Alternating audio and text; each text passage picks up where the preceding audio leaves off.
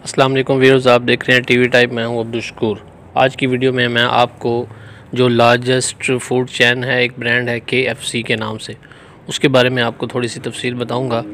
Video शुरू करने से पहले आपको एक छोटी सी रिक्वेस्ट करूँगा कि अगर अभी तक आपने हमारा चैनल टीवी टाइप सब्सक्राइब नहीं किया तो चैनल को सब्सक्राइब कर लें और वीडियो पसंद आई तो वीडियो को लाइक और शेयर ज़रूर कीजिएगा।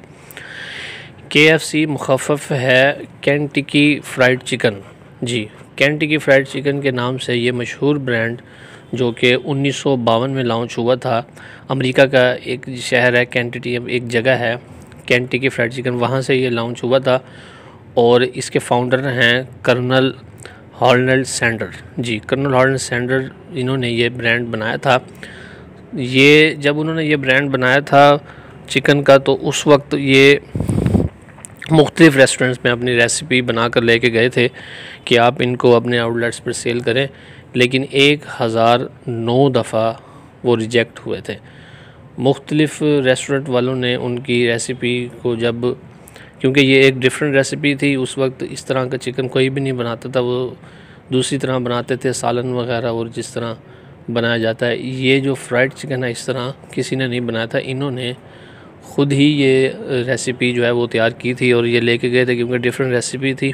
तो रेस्टोरेंट वालों ने जब उसको टेस्ट किया तो उनको ये पसंद नहीं आया, उन्होंने रिजेक्ट किया, लेकिन इन्होंने हिम्मत नहीं हारी और अपना ब्रांड मुख्तलिफ़ जगहों पर लेकर ये ले गए और रेस्टोरेंट वालों को जब ये उन्होंने टेस्ट करवाया तो एक हज़ार नौ दफ़ा रिजेक्ट होने के बाद ये एक रेस्टोरेंट वालों ने उसको ये पसंद आया। उन्होंने नाइनटीन फिफ्टी टू में ये ब्रांड लॉन्च हुआ और के क्योंकि वो कैंटिकी में उन्होंने ये बनाया था तो उसके नाम से इन्होंने कैंटिटी फ्राइड चिकन रखा। कर्नल हर्नल सेंटर्स जो हैं आप देखते हैं कि के से आप जब कोई चीज़ परचेज़ करते हैं तो उनके डब्बे पे, उनके ग्लासेस पे, हर जगह उनकी तस्वीर बनी होती है। जी, वो जो एजिड शख्स एक आप देखते हैं, उस पर बना हुआ है।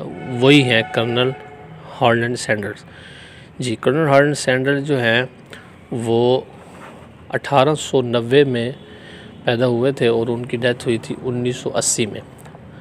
तकरीबन 90 साल की उम्र उन्होंने पाई है, लेकिन जब उन्होंने ये ब्रांड बनाया था, उस वक्त उनकी तकरीबन 60 से बासठ, तिरसठ के दरमियान उनकी एज थी।